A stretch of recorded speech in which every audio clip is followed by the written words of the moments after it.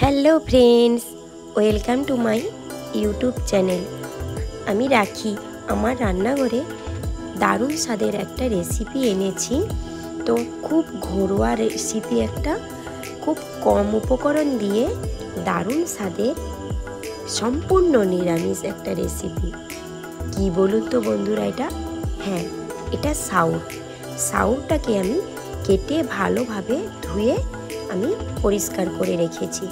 তো আমি এখানে গ্যাসের ওভেনে একটা কড়াই বসিয়ে দিয়েছি। তাতে দিয়ে দিয়েছি পরিমাণ মতো জল। জলটা দিয়ে আমি সাউরটা হালকাভাবে সেদ্ধ করে নেব। পরিমাণ মতো হলুদ আর লবণ দিয়ে আমি সাউরটা সেদ্ধ করে নেব। তো আপনারা সাউর খেয়েছেন তো? হ্যাঁ আপনারা খেয়েছেন। সাউর চিংড়ি সাউরের বিভিন্ন রেসিপি আপনারা খেয়েছেন আমি এখানে সম্পূর্ণ নিরামিষ নারকেল দিয়ে আমি এটা রেসিপি দেখাবো। অবশ্যই নিরামিষে এইভাবে একটা রেসিপি বাড়িতে বানান, তো অসাধারণ লাগবে। আমি একটা গ্রামের মেয়ে, সেই সাধারণ একটা রেসিপি আপনাদের দেখাচ্ছি।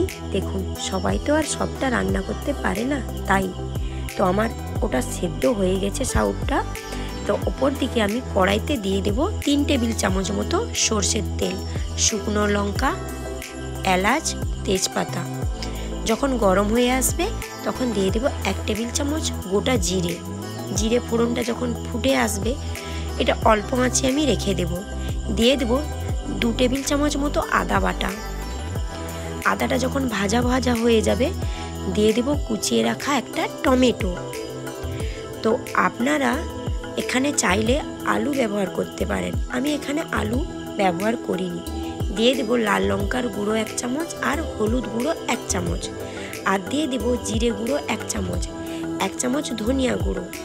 সব উপকরণগুলো দিয়ে আমি অল্প করে জল দিয়ে মশলাটা ভালোভাবে কষিয়ে নেব। হাজব্যান্ড বলল, আমি সাউর এনেছি। রাখি সাউরের একটা রেসিপি বানাও।